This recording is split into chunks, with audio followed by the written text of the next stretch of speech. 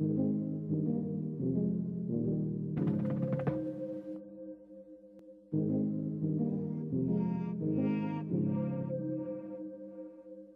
I'm overthinking, I'm really trying, so I should stop it.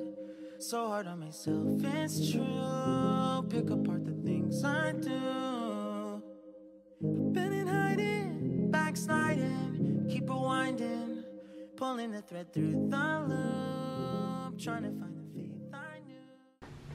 So this is pretty much the start of our room. I apologize if I'm out of breath. I'm doing a few weeks so baby's definitely crunching my lungs but I'm gonna do my best to not be breathing into the mic. So this is the crib that we have set up for the baby. The reason we set the crib up and the bassinet is because I have a toddler.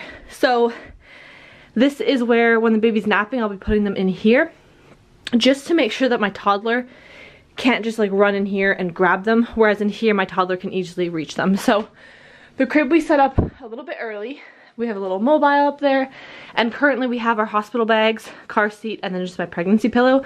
So when I go into labor, whoever's with me knows the stuff in here is going in the car, minus my pillow because I use that every night. And then we set up the baby monitor right here and we can actually turn it so we can see the crib, but it can also see the bassinet. So this is the bassinet the baby's going to be in. I love how it's just so easy to fold away. This is not going to stay in the bassinet. I just have it in here for now. It's actually kind of like a knockoff version of the DockATot, and this is more like a lounger for them just to hang out in in the daytime and not to sleep in. Don't worry. If you are curious, I will link everything I can down below. So this one is the Evenflo bassinet or Evenflo. I really like it. I just love the gray color. Now over here, is my side of the bed. That is my toddler's baby monitor so I can hear her at night and that is the Hatch sound machine and nightlight. And down here we just have a little breastfeeding basket. I do have a video on this that I will link down below if you want to know what's in here specifically. But that is just for my nighttime feeds to make it a little bit easier for myself. And then if you're curious to what's under the crib, I just have cloth diapers and stuff like that under there. My partner, myself, and the baby are going to be sharing this closet. So down there is the laundry for my partner, myself, and my toddler actually. This is where I've been keeping the bassinet folded up just in the side. And up here we just have random things that we store up there. Then I have my side of the closet, my partner's side, and obviously the baby's shirts hung up. Then in here, if you are curious, this is just like my underwear, bras, and nursing shirts. My partner's underwear, baby carrier, and nursing pads. So that's what's on that side. I did hang up the sleep sacks. We bought a little robe and just like things like that I hung up here just to make it a little easier and then I'll show you what's in the dressers. These tags aren't accurate. This is what the these are the tags I used for my daughter's room and I just haven't taken these off yet. So in here is we have socks, hair bows because we don't know if we're having a boy or a girl yet so we wanted to buy some anyways. Some hats and scratch mitts. And then most of our onesies are up here, but we also have a couple of very like feminine ones in here just in case because I wanted some little pink ones. And then just a couple random extra ones that didn't fit on the hangers. And pants. Yes, this is a lot of pants for the baby. I don't know how we ended up getting so many pants, but we did. Here is the pajamas. So right here and here are the pajamas. These are the swaddles and nightgown kind of things for the baby.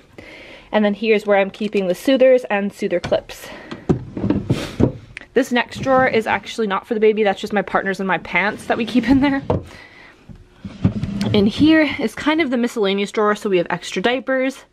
This is the parent unit that goes with our baby monitor, so that's gonna go downstairs. This is just like a little swaddle we were given for photos and a milestone blanket for the monthly photos. And then in here we have this little sanitizer thing for on the go for soothers and stuff.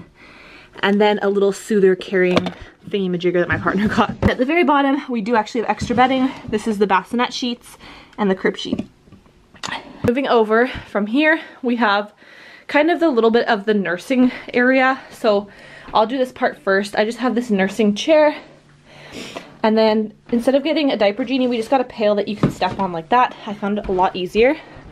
This is not supposed to be here, so let's just pretend that that wasn't there. Wipe warmer. And then in here I have extra diapers and an extra change pad cover. Right here is my breastfeeding essentials for when I'm nursing in here. So I have like some snacks. that I started eating already and my Haakaa and different things like that. A couple burp cloths. And then in the very bottom, I just keep most of their toys for now that they're not going to quite play with right away, obviously, but you know, just keep it there for now. I should take this tag off. This is going to be the baby's laundry bag. So I do wash baby's laundry separate from ours. That's just my preference. This is actually a cloth diaper wet bag, so when I am cloth diapering, I will be using this, but for now, it'll be the baby's actual just laundry bag. The change table in the crib and all the stuff we actually got for free secondhand, so we kind of just made with what we have. We have this really, really soft change pad cover that's probably just gonna get all stained and gross, but that's okay. Just like wipes for the warmer that obviously we're not putting in yet, some diapers, we have lotion, and this is gripe water, we have the Nose Frida Sudocreme and then Organic Baby Diaper Balm for my cloth diapers. Going to down here, we have in this basket, it's just receiving blankets and burp cloths. And then these are the newborn cloth diapers right here. And then under here, this is a little co-sleeper for the bed. It like folds out and you can put it inside your bed. And that is the boppy pillow right there for nursing. And then in this little basket, we just have extra blankets that are for the bedroom and then the rest of the blankets are downstairs. So I will also show you what we have set up downstairs for the baby. I wanted to kind of show everything in this video. We have a very small house, so we kind of had to improvise. So let's go to the hallway. Next is my daughter's room, and in here we have some of the baby stuff also. So this is some of the baby stuff hanging, and that's for like newborn sizing. A bunch of diapers and wipes down here, and then up at the top, we have just three to six month clothing, six to nine, and then this box just has some baby toys in it, I believe. And yeah, so it's just kind of extra diapers also up there. So just organized like that because my toddler only uses this much of her closet, so I figure we would put the baby stuff in here. Eventually they will share a room, but definitely not for the first six months at least. In this cabinet is where we're keeping all of the baby and kids stuff. So we have baby's bottles, stuff for pumping, so anything breastfeeding like pumping related, milk storage bags, the pump that I use. This is just a nipple shield and coupons as well at the back for the baby. I was gifted this formula so I figure in case we need it I was going to keep it for now. It doesn't expire for a long time.